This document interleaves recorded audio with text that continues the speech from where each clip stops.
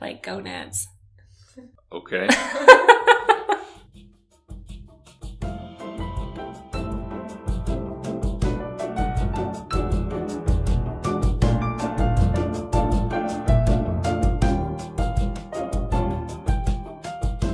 This is Brecken, and Jonathan. and welcome to another week of Gem Junkies. Last week, I left off the uh, the episode with uh, "The world is our oyster," which was a mistake on my end because then everyone requested pearls. So I guess pearls it is. pearls it is today. We're gonna talk, and we're gonna have to split pearls up into two parts because there is a lot, a lot to talk about with pearls. A lot of different kinds, a lot Yeah. of different ways to make them, Mm-hmm. to treat them, Yep. to play with them. Yep. So we're gonna kind of go at, at this at kind of a two part thing, but we I'm I've snuck in on a Thursday to record because the twins started preschool this week. Yeah. So it was the first day was they were looking good. They were looking fly. They had their unicorn backpacks. They were happy. And they didn't want to leave. No. There were no tears. no, you had to drag them out at the. No, no tears on either end. They, No. I got by Felicia when they got to the door, and I was like, "See ya, I'm going to TJ Maxx." Mommy time. Yep. All right, okay, pearls. So we've got we've got a time crunch because we've got to go pick up those twinnies. Pick them up. All right. Pearls were first mentioned in history. Do you know when? I don't win. in 2200 BC by a Chinese historian. That's when pearls were first mentioned in history. And they have been symbols of wealth and status for thousands of years. Yeah. They're associated with the moon because they're spherical orbs like the moon in the sky, and the sea because they come from the sea. But in ancient China, it was believed that they protected you against fire breathing dragons. Ooh. And in ancient Europe, they signified modesty, chastity, and purity. Probably because of the color white, I would guess. But um, ancient ancient sources of pearls. So where these ancient people get pearls was the Persian Gulf, waters off of the coast of Ceylon. That's Ceylon. They've got everything. Everything. Uh, Chinese rivers and lakes, and rivers in Europe. And did you know that Christopher Columbus discovered pearls when he came to the New World? I did not. Mm-hmm. He did. In fact, there is um, a Native American burial in Ohio where they found pearls, and it was dated 2,000 years ago. Freshwater? I would guess from the rivers of America. The rivers of America. Yeah, Christopher Columbus on his third and fourth voyages encountered native people adorned in pearls, which of course led the Europeans to overfish and deplete the pearl source uh, off the coast of Venezuela and Panama. It created extensive European interest in the New World. That and emeralds. I have a super cool story. You know this story. It's about Cleopatra and her pearls Yeah. and how she seduced Mark Antony with her pearls, Big pearls. big pearls. So we all know that Cleopatra and Caesar had a thing. They had a kid. Caesar gets stabbed. He dies. What's Cleopatra going to do? She has to somehow protect Egypt from being conquered by the Romans. Seduce the next guy in line. seduce the next man in line. So Mark Antony comes by to pay a visit. She throws a big feast, huge feast. She's like, I'm going to win him over by drinking my pearl earring. She takes off her pearl, dumps it in vinegar. lets it- Supposedly. suppo- this is the story. Lets it dissolve, then drinks it. And from that instant, Mark Antony was like, this girl has got it. I'm in love. For And the rest is history. Yeah. But there's a lot of historians and gemologists that don't think the story is credible Right. because it would take much longer than a dinner feast to melt a pearl in vinegar. True. So I went and I was like, how could this be possible? Now, there is some revived interest in the story, and there are some theories and some people that think this could be true. She could have crushed the pearl first, Which would have dissolved quicker. which would have dissolved it quicker. So, and I'm thinking, how could she possibly drink a glass of vinegar? Yeah. I mean, seriously. But what happens when you put a pearl into vinegar is there's an acid and a base reaction. So you have your vinegar, which is the acid, and that's neutralized by the pearl, which is actually a calcium carbonate similar to an antacid. So she could have drank it and it might not have tasted too bad. So the theory is she either crushed the pearl, let it dissolve, and then drank it, or she swallowed it whole and recovered it for later use. Much more economical. Is that another one of the theories? Yeah, that she She just dumped it in there and swallowed it, and there you go. Maybe let it dissolve a little bit, but recovered it and put it back in her earring. Gross. Totally gross, Okay. but So pearls I were expensive. yeah, and so I think you mentioned a little bit there about what is a pearl. right? Yes, Calcium calcium carbonate. carbonate. And natural pearls are created when an irritant, Right. which is foreign matter, uh, we often think of like a little grain of sand, Which is not true. which is not true. It's pretty much never a grain of sand. It's either like a parasite or like bunch of other things, but very rarely ever sand. Yeah, so whatever irritant or foreign matter gets trapped in the fleshy mantle of a pearl bearing mollusk, it will then become coated with nacre, and it's the same material that makes up the mother of pearl that lines the, The inside of the shell. Inside of the shell. And that's how you can tell what kind of pearl a mollusk will do, what color it will provide by the lip of the Mm-hmm. mollusk. And so the nacre is composed of layers of what is called aragonite. Aragonite. That's what I'm going with. Aragonite, which is crystallized form of calcium carbonate, and conchiolin, which is an organic protein that binds the crystals together, similar to a glue. Right. And so what happens with these layers is that light will come in and it will reflect the light to give the pearl its luster, but it also refracts or disperses the light to produce the iridescence, which we call orient in Right. pearls. Yeah, so you have a combination of reflection, refraction, and diffraction of the light from the translucent layers. And then the thinner and more numerous the layers of the pearl, the finer the luster. Hmm And then the iridescence that pearls display is caused by the overlapping successive layers, which breaks up the light on the surface. Yeah, it's crazy the, how the light passes through it, but also reflects from it. I mean, it's beautiful. If you've ever seen a gorgeous pearl, it looks like you could get lost in it because you, it looks like you could just fall into the pearl. Like it's a pillowy, soft, beautiful moon. Right. Wow. Wow, I went, I went there. Okay. Uh, so pearls were were treasured in ancient times. Caesar invaded Britain for the pearls. Henry VIII and Queen Elizabeth, his daughter, were constantly dripping in pearls. In fact, in 1917, Pierre Cartier traded a double strand of natural pearls for a mansion on Fifth Avenue. That's how prized and valued they were. Now, overfishing led to depletion, of course, of, nat- of the natural pearl market. But we also had an introduction of cultured pearls that happened in modern times around 1890s, 1900s. And Right. so what what happened? The Chinese have been making cultured blister pearls since the 13th century. That art was kind of lost and then rediscovered again in the ni- early late 1900s. No, Okay. no, late 1800s. Late 1800s. Yeah, Yeah. sorry.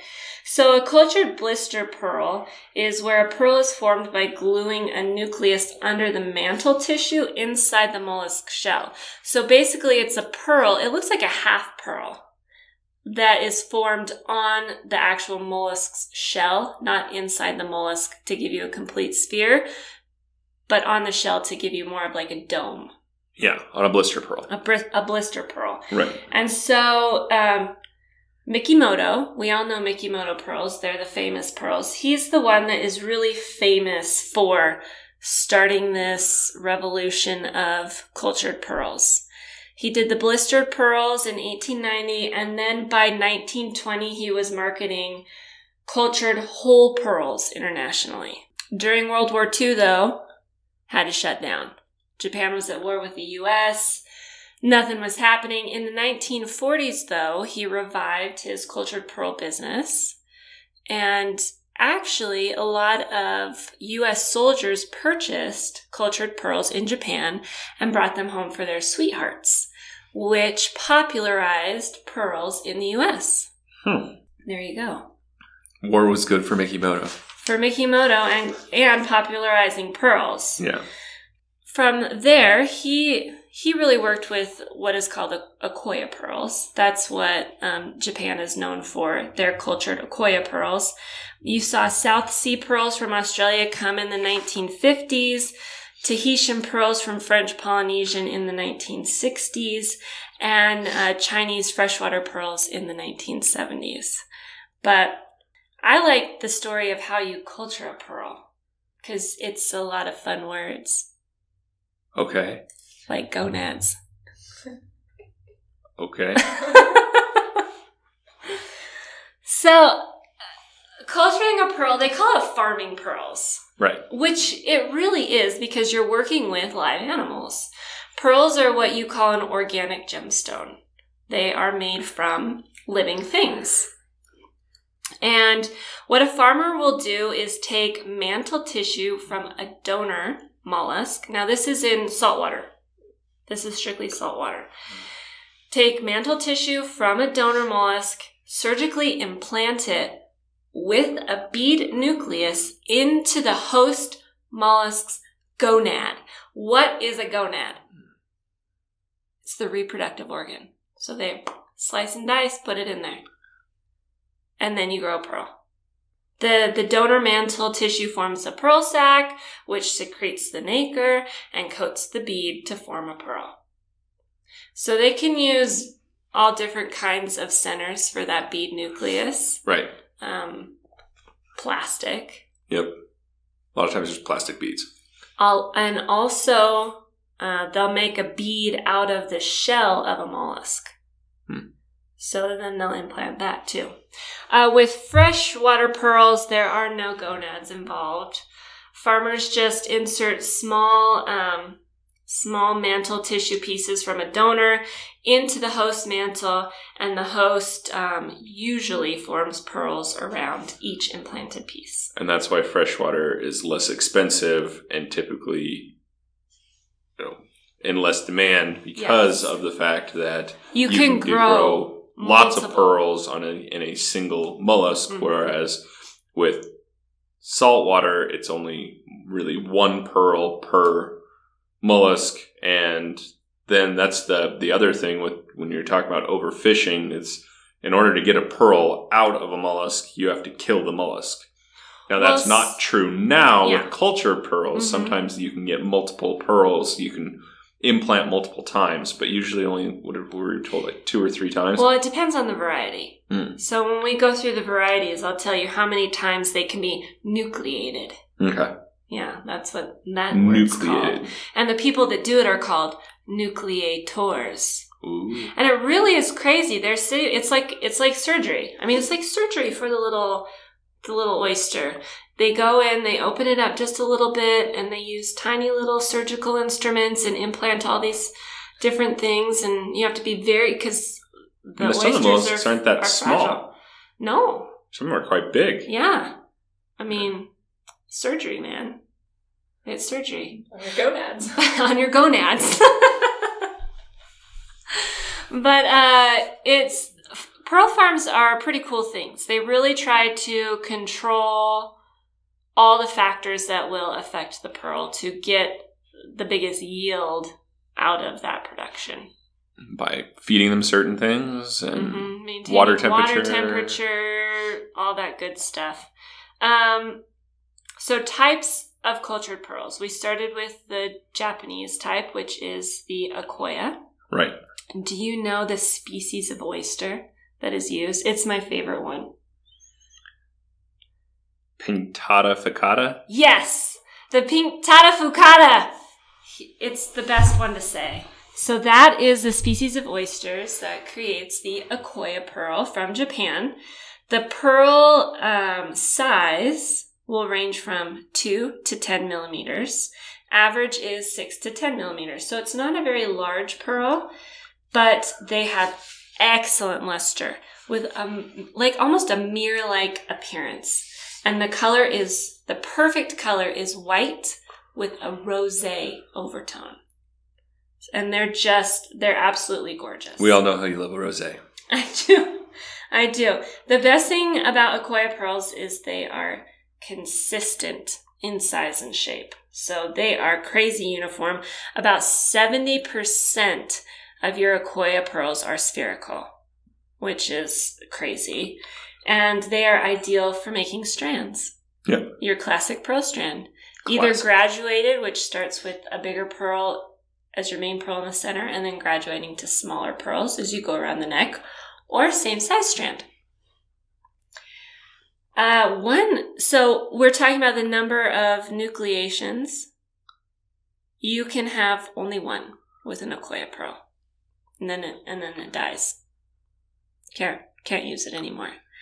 Um, Do they eat them? I don't I don't know. Do you know how long it takes for it to grow? I don't. Six months to two years.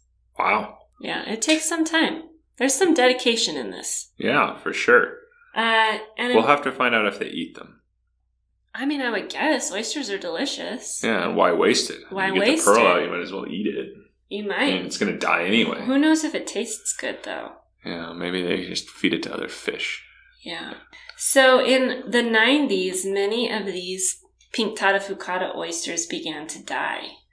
Uh, and it- Ooh, Yeah, disease. disease. It took them a while to identify it as an infectious disease, but even in 2003, production was only 30% of what it once was. So they have found a remedy for this disease, and production is coming back slowly and steadily. But it really left a hole in the market, which I think um, the Chinese freshwater pearls fill- filled. But we'll get to those in a minute. We're talking saltwater right now. Salty. So the next cultured pearl that I want to talk about is South Sea. Mm. I love South Sea pearls. And that's the Pinctada maxima. Yes, and I think Maxima like big. These are the biggest pearls. Right. These are the biggest pearls you're going to get. And there are two types. There's either the pink, or wait, sorry, the gold lipped version or the silver lipped version. And that accounts for the pearl's color, of course. Right. But you can they can be white, silver, pink, gold, cream, or any combination of these. hmm But still beautiful. I love the gold. Yeah, golds are beautiful. And they they're from Australia, Indonesia, and the Philippines, and they range from eight millimeters to eighteen millimeters, which is why we're talking big pearls here. Yeah, they're the largest and the rarest, and therefore the most valuable. Yeah, and they have almost like a soft satin luster, as opposed to the Akoya that has that mirror-like luster. They're like Yeah. super soft. They have a softer look, um, not as much of a a mirrory, glassy look. These have a softer look. Yeah. Now, they take 18 months to three years to grow a pearl. Wow. You can nucleate them, which means harvest them between one to four times. Hmm. Yeah, so they don't instantly. I mean, you don't. You don't. Sometimes you can reuse them. you can sometimes reuse them. Now think about how they must live for quite a while then, because if it takes that long, eighteen months to three years, and you can do it how many? Three to four times? Uh, one to four. One to four times? Yeah. And the age that you can first nucleate them, about two to three years. Wow. So you have to spend a lot of time growing these guys. And it's also in really deep water too, right? In comparison with like the Akoyas. Mm-hmm. So that makes it more complicated too, because the divers have to be diving much deeper. Yeah. Crazy. Now, the percent of spherical South Sea pearls is about 25 to 40%. So those are perfectly spherical. Uh, now, uh, as opposed to the Akoya, which is 70%. But you can still do a lot with, I, they call them Baroque, Baroque style pearls. Um, Which I like. I do too. I think they're They're- beautiful. They're, beautiful. Uh, okay, next, just traveling around the sea is the Tahitian pearl. Mm. And do you know the species for that? I'm going to have you say this one. Uh, Actually, I practiced it a couple times. uh, it's Pinctada margaritifera. Pinctada margaritifera. Okay. Tifera. Tifera. Yes. Yeah. And- and otherwise known as black pearls. Black lipped oyster. Right. The black lipped oyster because it produces dark or black pearls, um, but it can also give you colors that are called peacock Yeah. and Green, pur- aubergine purple, and blue. Yeah, I mean, and they're and they all have a dark. Ba- they're all dark base. It's a dark base, but they're not really black. Yeah, They're more of a silvery gray than they are black. that has this beautiful like Yeah. peacock luster to it. Um, they at, they range between eight and seventeen millimeters in size. They have to be three years old when you first nucleate them. right. They can be nucleated two to three times, and it takes about 18 months to two years to grow a Tahitian pearl. Right. And they would be the second most valuable. Yeah, they come 30 to 40% spherical. Wow. Not very much. Not very much, um, but they are amazing. yeah. Beautiful. I have a strand of Tahitians, but they are not perfectly spherical. We call them circle pearls because they kind of have rings around them. And we'll get, a, I think we'll get a little more into this next week when we talk about the differences and quality factors and all of that kind of stuff. But your classic massive Tahitian strand commands an amazing price. of course. I mean, they're just beautiful. Beautiful. There's something about wearing pearls, like the heft of them, Yeah. and they're cool. You put them on your neck, and it could be the hottest day in the summer, and they just feel cool. Hmm. They keep you cool. It's the craziest thing. I think every girl should have a pearl necklace in her jewelry collection. Of course. It's classic, yeah. timeless, Timeless. timeless. I think I should have one. you should. They're cooling. I like to be cool. You do. Sounds awesome. We could get you a little, you know, like our twinnies had those amber necklaces for teething. we could for get teething. Jonathan a little pearl necklace for cooling. Back to reality. Akoya, South Sea Tahitian are all saltwater type pearls.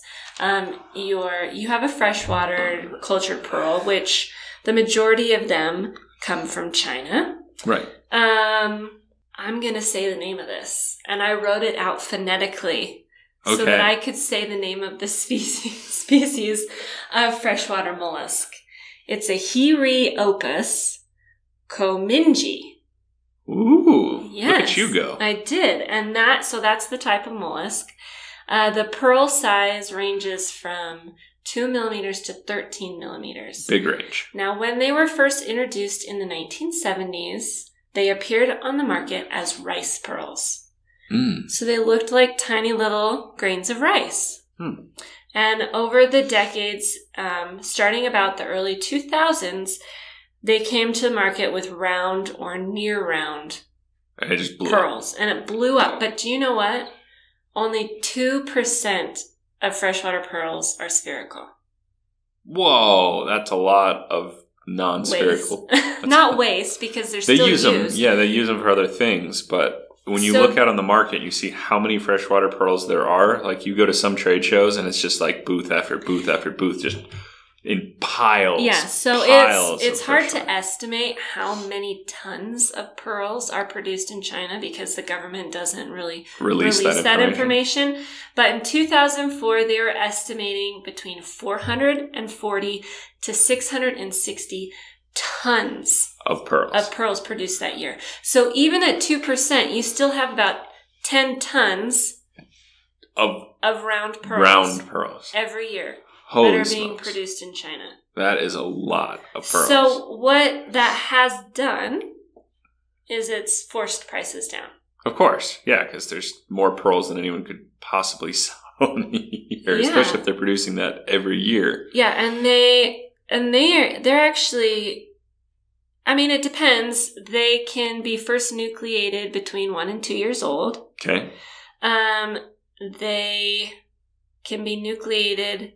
They can have up to 40 pearls per mollusk and they can be nucleated 1 to 2 times. But it can take 24 months to 72 months to grow these things. So they do take a while. They do take a while, but you get high yield with 40 per nucleation. Yeah. I mean, super high yield. But it really has made, and we've seen the popularity of pearl increased dramatically in the last 10 years. Sure. And like I was saying before, where the Akoya pearls got sick and they were all dying, the Akoya oysters, Fresh water just kept on going. fresh water came in and filled the void that Akoya left.